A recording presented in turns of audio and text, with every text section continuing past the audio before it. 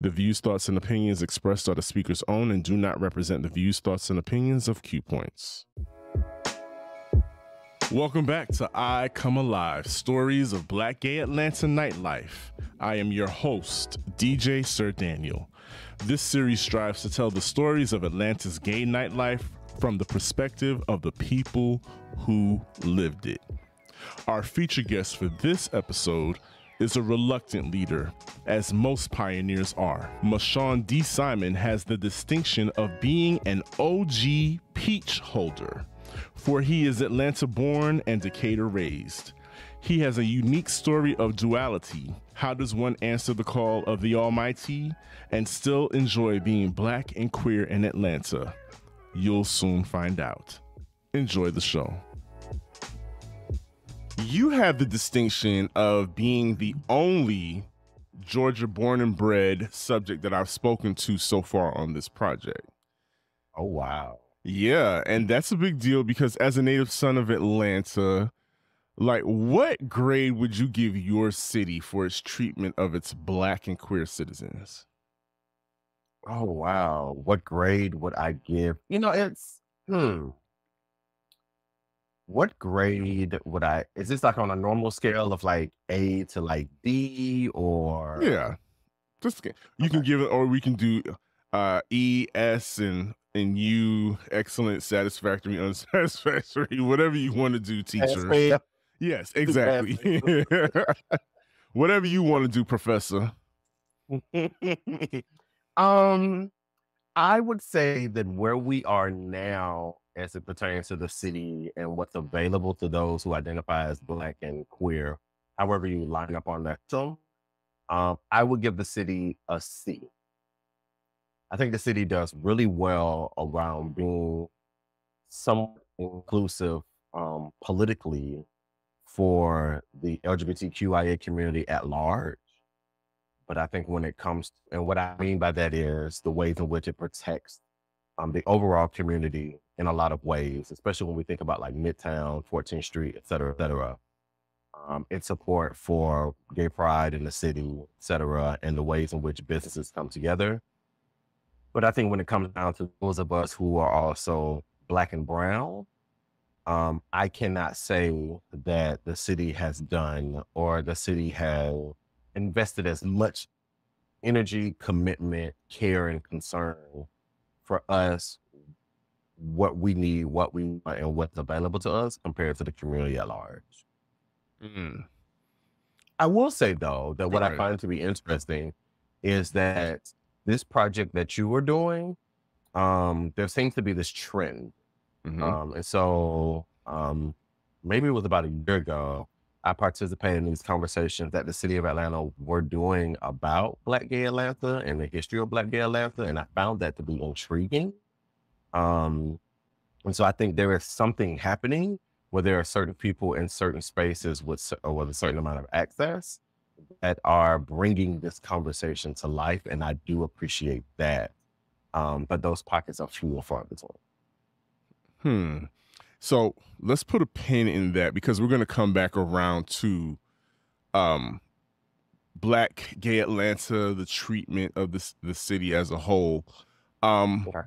I do find it it's rare that we do run into someone that is a native of the city. So, how do you feel? And we're going to get to our main topic, but how do you feel when you see those disparaging comments about Atlanta, knowing that most of the people living here are transplants now? You know, we love that saying Atlanta is not a real place. and at times it I mean, is, it is mythological at times. It does go you feel like, okay, are we in Oz right now? But yes. What how do you feel yeah. about more so the yeah. disparaging comments about the city of Atlanta, whether it's about the infrastructure, um, traffic, or the fact that there is a such a large and visible black gay community here? Yeah. Uh, I tend to I tend to take it personal in a lot of ways. Mm-hmm. Um, I I have taken notice as to lately. This has actually happened a few days ago, where a colleague of mine who lives in San Juan, Puerto Rico, every time, um, according to him, people from Atlanta visit San Juan. Like he he he claims that he just knows that they are people from Atlanta. Like he's like, I know that these are Atlanta Negroes for these reasons. Dot dot dot. And I'm always like, no, stop. Because one, all of us are not like that. And not and you can add whatever the stereotypes you want to add to that. Um, but two, as you said, a lot of the people who now claim Atlanta were not born here. Like there are not that many natives still living in the metro area. Um, I used joke and say, I and I know this to be true because I feel like I'm related to most of them. Mm-hmm. Um, because I'm just still finding more and more family as I get older. But uh, yeah, like I find myself taking it jokingly and subtly personal um, because I think it is slightly unfair that all of these things are tacked on to my city um, from the perspective of someone. Now, let me be very clear, and I always say this I'm Atlanta born and Decatur bred um, because my family was adamant about raising me um, in a different kind of environment. And so a part of that is in my DNA. Like I am a Decatur boy, mm-hmm. um, but I still claim Atlanta proudly because I was born in this city. I um, have been greatly influenced by this city politically, economically, socially, culturally. Um, and so I like to take ownership of the fact that I am one of the very few who are still here. And it's funny you bring up claiming, you know, how Atlanta has influenced you socially. As long as you and I have known each other, and that's been for a minute now, as long as you and I have known each other, you really haven't been much, haven't been one for going out a lot. And so I'm wondering how has like the pursuit of the titles that I named that I rattled off earlier, like the pursuit of those titles, how have they informed your connection to the gay scene here in Atlanta? Um, well, yeah, sure. I, I, I was many of them. I was a club kid. I went to the Bulldogs and the tracks and uh and the Phase Ones, and I went to the Loretta's. I've been to the Marquette once. I survived. I never want to go back again. Um, I think we have to go back as adults just to just to to to gauge the amount of growth, mm. our growth, and the the growth of the Marquette because I think the Marquette still fighting against stabs in there. Well, but see, here's the thing. I think there's still a place. There's a place for not necessarily the stabbing and, and, the, and the being dragged out on the streets, but there is a place for that that segment, that demographic of the community to mm-hmm. feel seen and to have a space for them as well.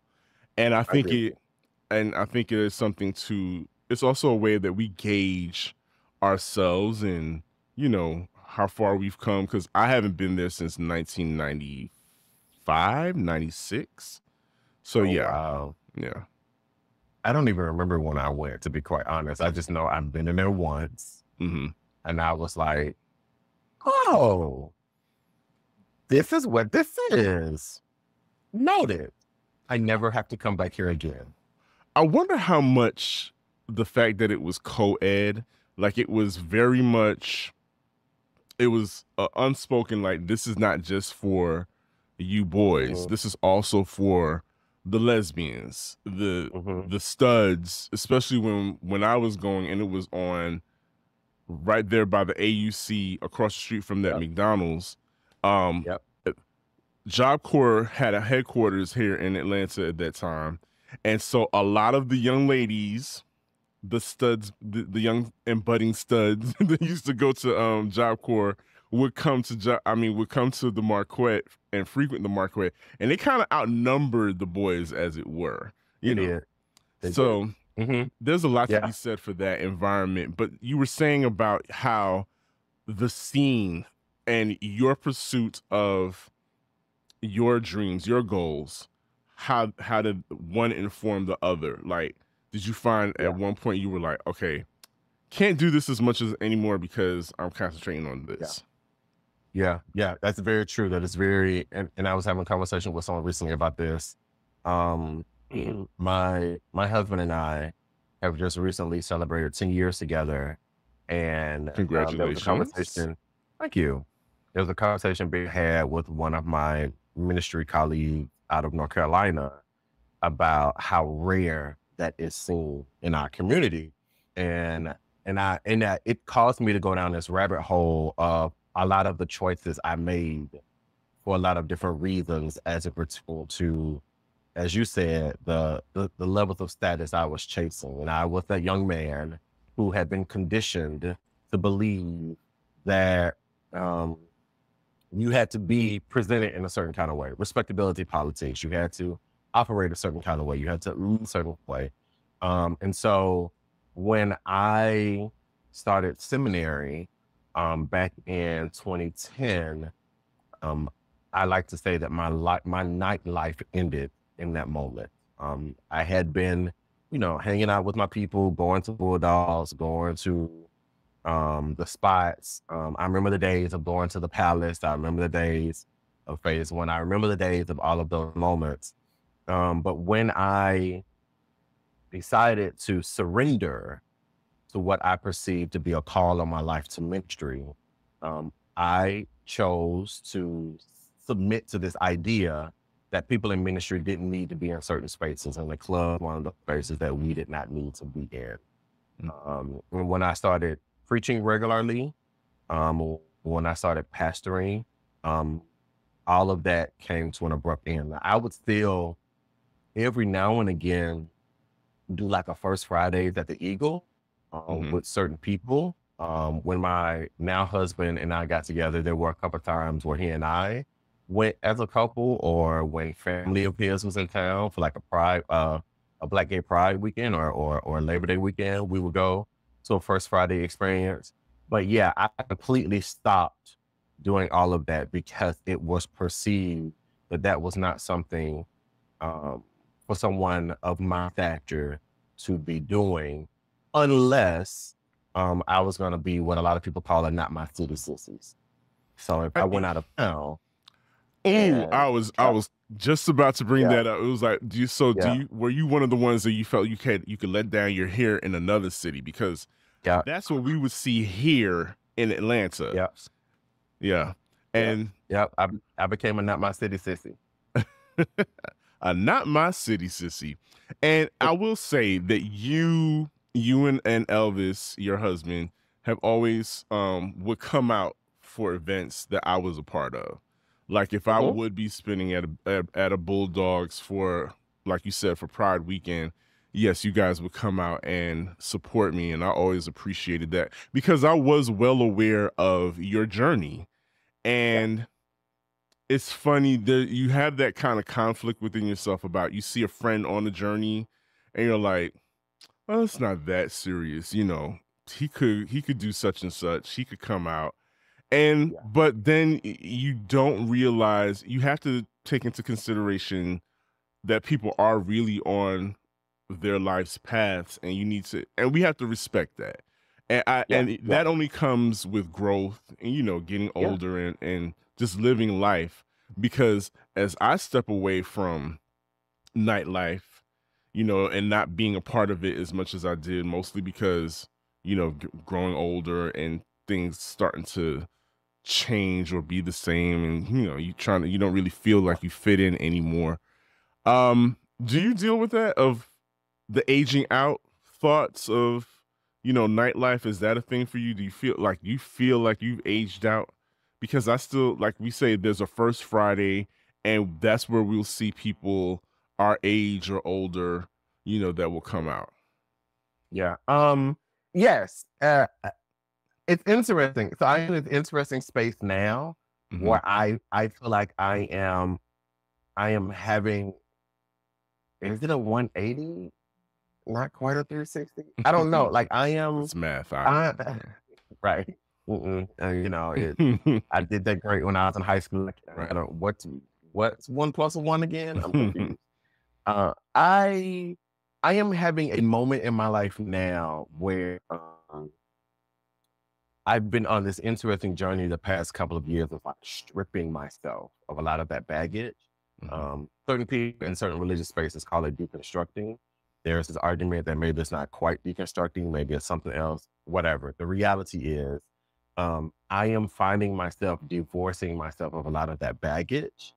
Um, and so, because I am what a lot of people like to profess to be this public figure, I do not as much allow some of those things to hinder me as much as they used to because my own work and my own research has caused me to consider that that level of conditioning may not have anything to do with anything beyond people just trying to control or people just trying to uh, create a world or society or individual or being that makes them most comfortable.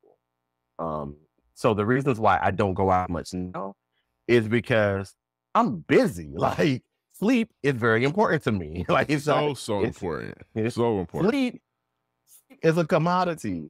Um, mm-hmm. and so it's it's and, and, sometimes yes, there are certain spaces I'm just like this ain't for me. Like I don't know who this artist. I don't know who a little Sexyy Red is or, or what have you. So that doesn't move me.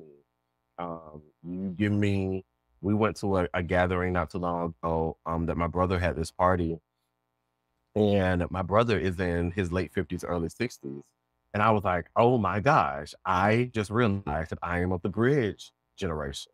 Like I I am that in between from my brother's generation to because I'm a cusp I'm, I'm a Gen Xer, so I'm a cusp millennial. Mm-hmm. Um, and so there is some millennial music and some Gen Z music that I am familiar with the connect because I'm because I have young nephews and nieces, etc.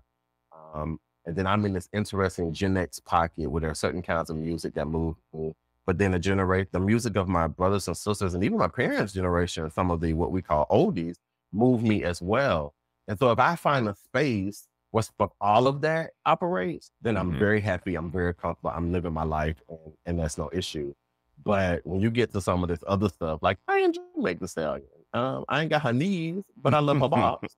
mm-hmm. Um, but like the Sexyy Reds of the world, I don't know who those people are, in that music move me. So those are the reasons, like the music, um, that I enjoy sleep. Those are the reasons that sort of keep me from going out as much compared to these concerns around me being a preacher or me being a pastor or me being um, it, this individual that that that people have had a a title and some level of authority to. Um, I I I am of that person that nowhere is scandalous because if I'm supposed to be doing the work of being amongst God's people, then I should be able to be anywhere amongst God's people and and that not be a problem. Um, so yeah, I thought that really answered your question, but yeah. Um, hmm, you mentioned you mentioned your brother, and I know that you you've acquired quite a few spiritual brothers on your journey.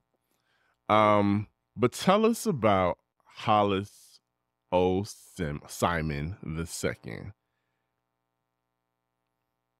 Sick. Why are you doing this? Um, I, I, I this is, a, I think this is, um, you'll see where I'm going in a second. Tell us, okay. tell us about Hollis O. Simon the second. Um, Hollis O'Neill Simon the second, born from my father, Hollis O'Neill Simon. Um, what is, uh, for all intents and purposes, my only biological brother. Mm-hmm. Um, I have learned in the past few years since my father died, father and I had a lot of parallels. My father had only one biological brother. I only had one biological brother. Even though I have these other siblings from the other situations, et cetera, et cetera, yada, yada. But for all intents and purposes, he's my only biological brother. Um, he asked in 1992, the early 1990s, um, from complications to HIV. Um, he had full blown AIDS by the time he died. He was a educator. He was a special education teacher, um, but he was also a designer. He was a seamstress. He made clothes for some of my siblings, for his mother, for cousins. Uh, he was working um, to develop a name for himself in the fashion world.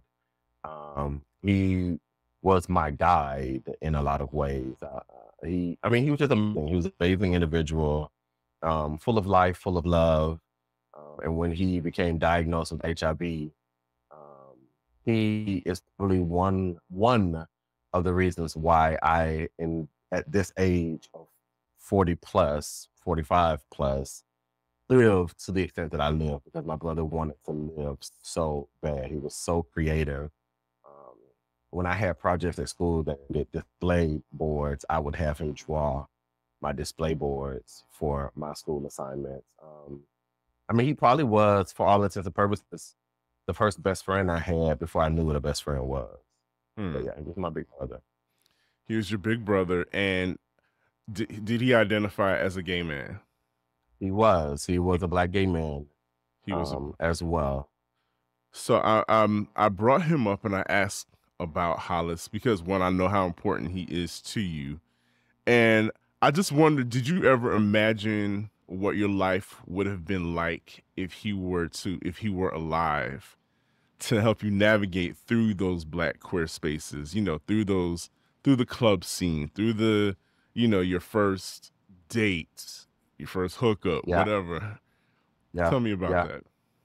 I think about that a lot. Um, it is part of the reason why the D is in my in my name, in my signature. I I, I learned after my brother died, he either named me or had something to do with my naming.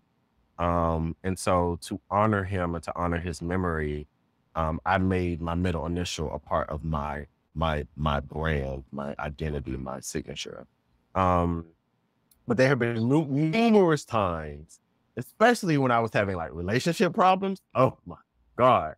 I'd be like, if my brother was here, um, the conversations we could have had, um, the moments we could have had when I could have just driven over to the house and then just been like, let me tell you about what this Negro did.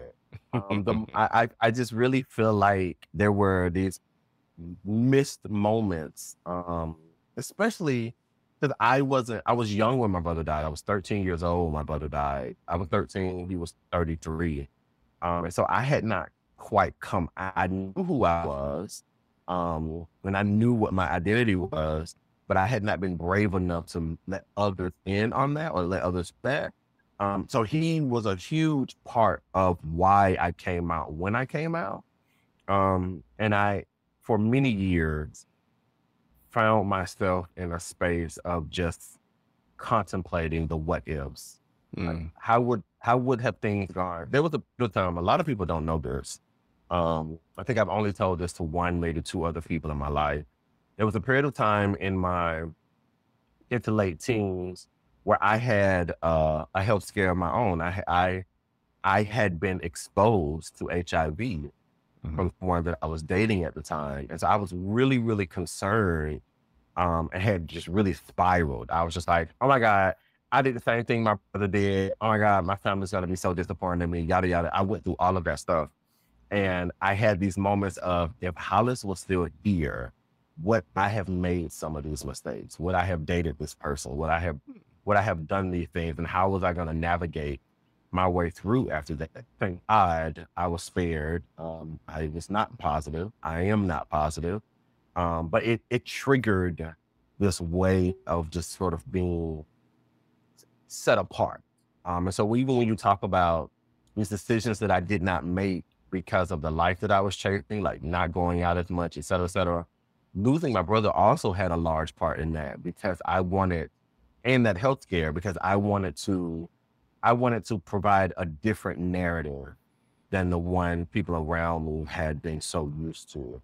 Um, and so I became the well organized, driven, highly successful, well attached, well connected person that I did, especially for my family, especially for my mother and my father, because of the loss of Hollis. Mm. Um, I needed them to look at me in different kind of ways so they could say that I had done the same things that him and many others had been um, judged for doing. Mm.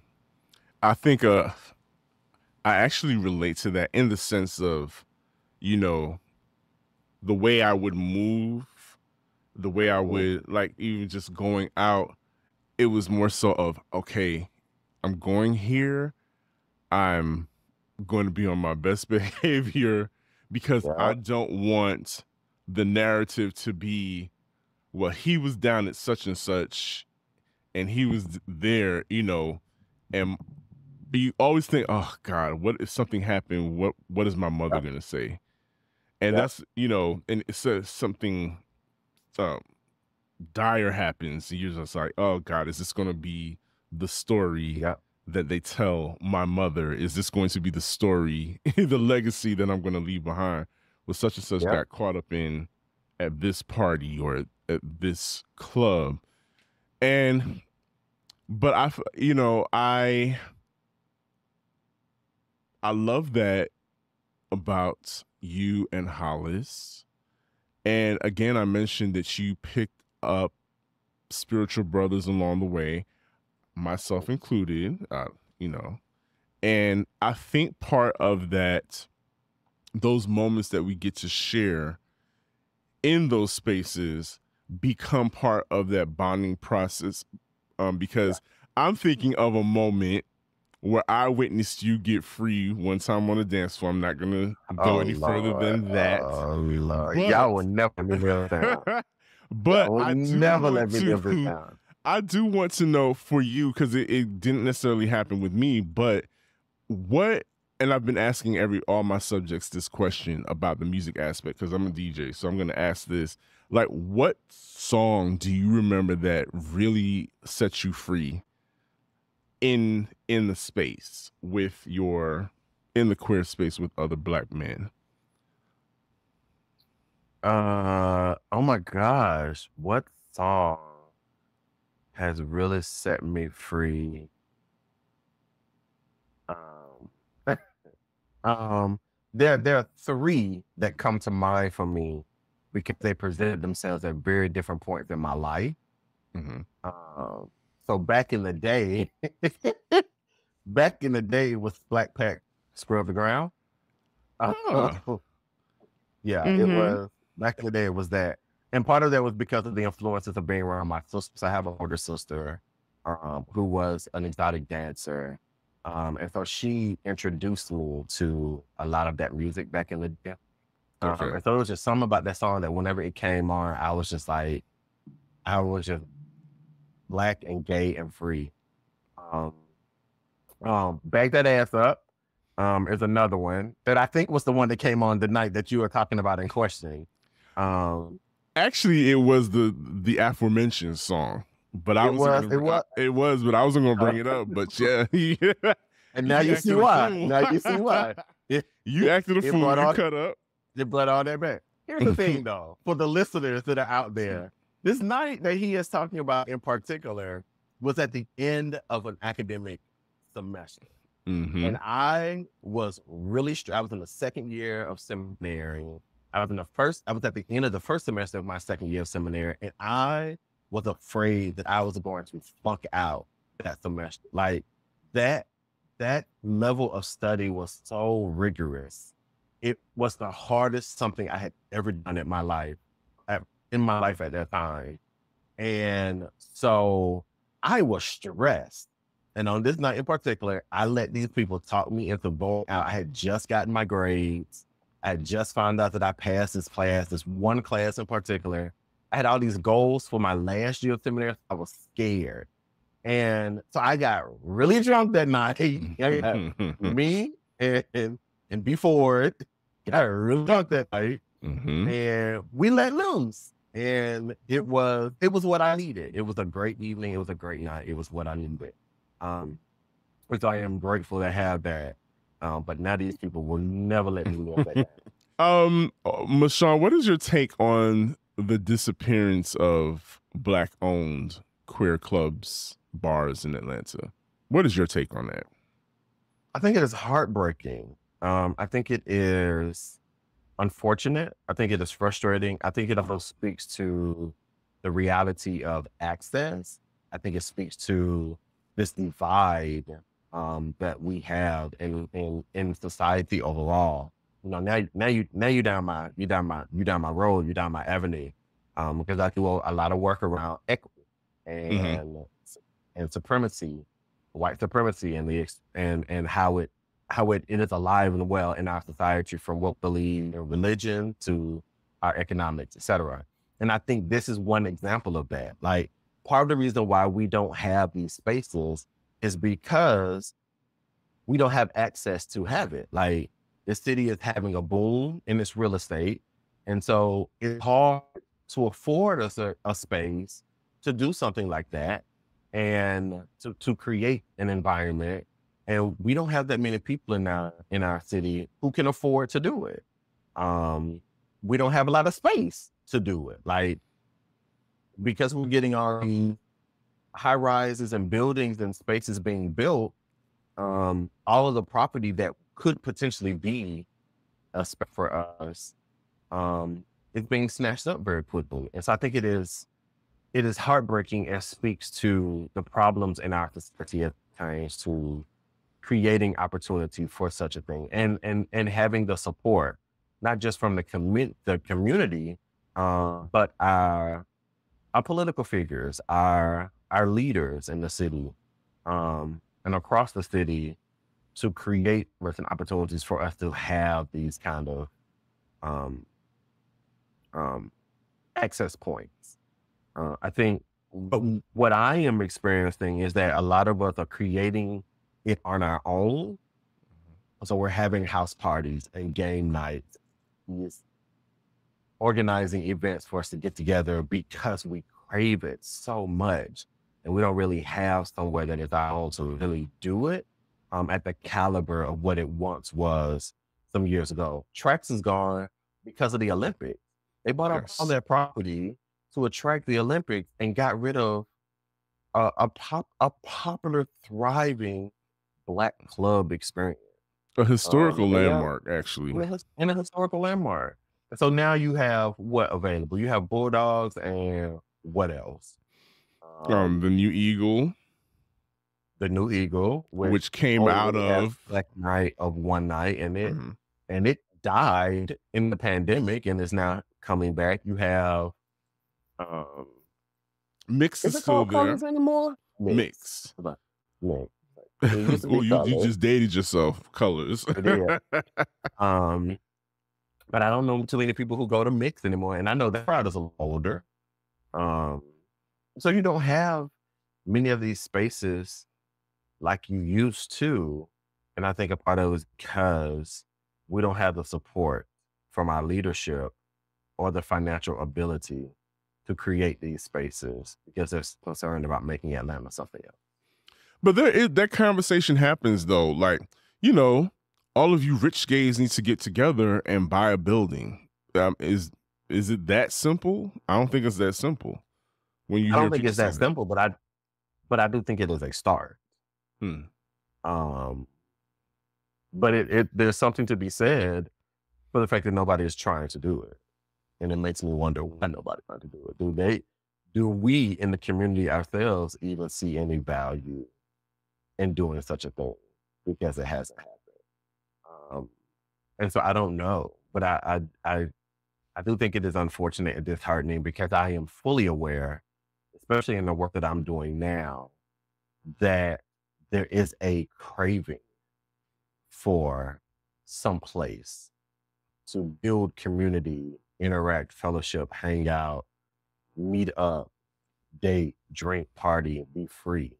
Mm-hmm. Um, there's not that many options. I remember a point in time when a group of us, were you a part of this conversation?